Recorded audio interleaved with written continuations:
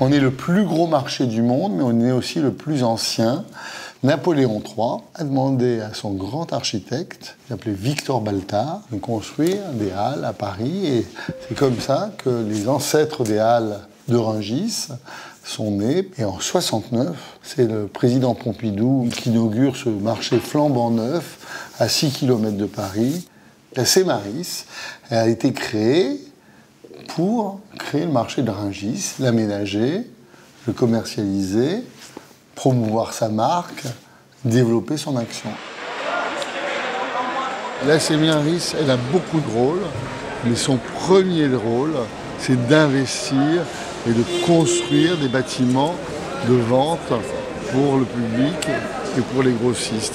Donc on a dépensé plus de 10 millions d'euros pour rénover les 8 pavillons de fruits et légumes qui délivrent chaque année 1 400 000 tonnes de fruits et légumes. On a embelli, on a mis de la lumière. À chaque fois qu'on investit, ici à Rungis, eh ben, le commerce se développe. La Marie, c'est une société d'économie mixte et elle a la particularité d'être détenue par une foncière qui est Altarea Cogedim et par l'Agence des participations de l'État avec une représentation des grossistes et des autres collectivités locales. En ce qui concerne l'hygiène des bâtiments collectifs, je suis en charge et en responsabilité du nettoyage et du nettoiement qui sont réalisés par des, sociétés sous-traitantes, mais qui sont bien sûr sous ma responsabilité. La responsabilité sanitaire sur le marché est de la responsabilité de la direction départementale de la protection des populations, la DDPP. Ils ont de la même manière la totale responsabilité de la partie hygiène des produits.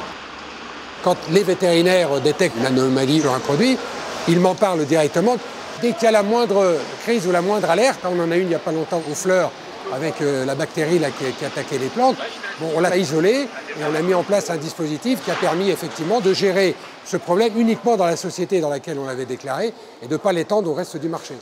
On mutualise tous les services dont ont besoin des très petites entreprises parce que vous savez, sur le marché de Rungis, il y a 9 milliards de chiffres d'affaires, mais 1200 entreprises qui font en moyenne 10 salariés. Et donc, ils se concentrent sur le commerce et nous, on les aide pour le reste.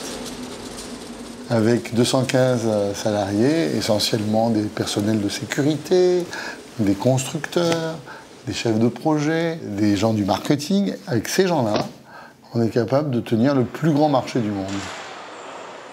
Les salariés de la Cemaris sont au centre de notre activité.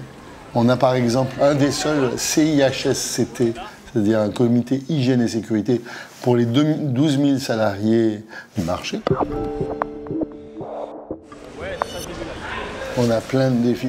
Nous sommes en train de travailler à la création de ce que nous appelons une marketplace. Nous sommes un marché physique, nous deviendrons un marché virtuel.